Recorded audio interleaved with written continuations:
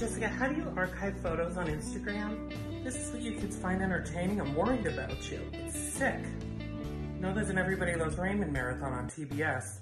Who does she think she's fooling? We know you killed him, Carole, and you fed him to the tigers. That's one of the husbands. I mean, six, six. Wow, he is.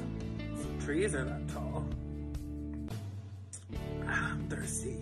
Wait, so let me get this straight. He would seduce men with drugs, and then he paid for a woman to be killed, but that woman also has probably killed someone. The other guy would take baby tigers through the Las Vegas Strip in suitcases, and then the other guy was running a polygamist cult. Why is the whole world obsessed with this?